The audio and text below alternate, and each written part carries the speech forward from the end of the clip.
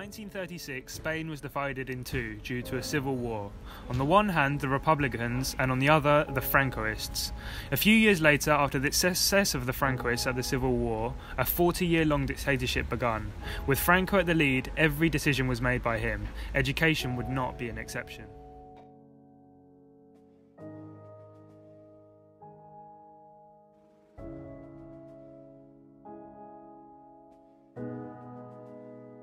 The ideology of the far right was so radical.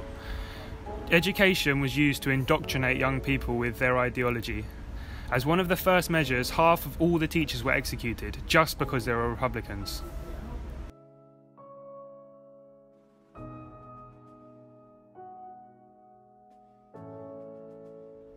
The education was absolutely limited by the Francoist and Catholic ideologies. Every classroom had Franco's photo, a cross, and the Virgin Mary. The teacher's table was at a different height, showing superiority above the students, whose desks were not able to move.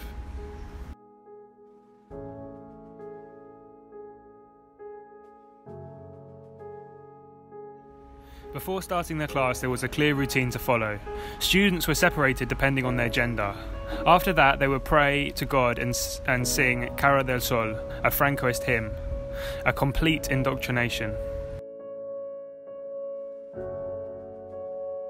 The role of the teacher was clear authoritarian, standoffish, and cold.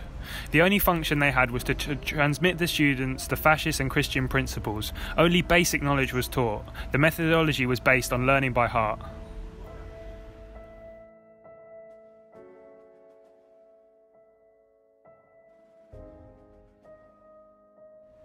Students were supposed to be polite and obedient. If they weren't, a punishment was the usual reaction. Usually, these punishments were physical abuses, like flogging them with a ruler or punching them with a ring.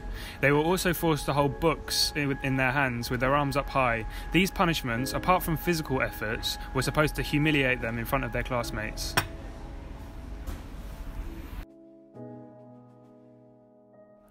The curriculum in this era was being restricted in order to promote the growth of students as citizens of the Francoist state which was being created.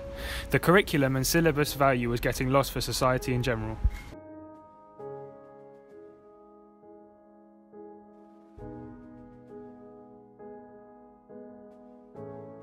Today, education has another reason for being. Education is known as the starting point of a well taught and educated future society. Principles and values are shown from childhood.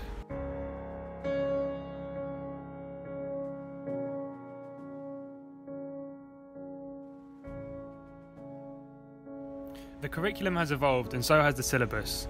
Nowadays, education is supposed to be public, secular, and apolitical. However, education is getting more and more difficult given changing social conditions. These days, the variety between students is high. We have racial, cultural, and social diversity. The fact is, we are far from achieving our goal. The teacher training is changing, and so is their role. These changes allow us to see the light at the end of the tunnel.